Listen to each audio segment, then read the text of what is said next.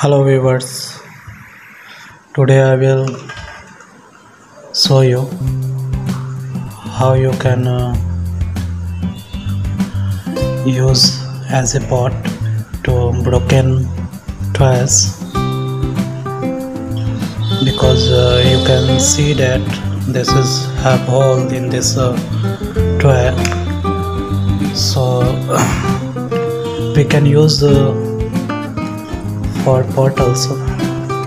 So just i will pot this plant.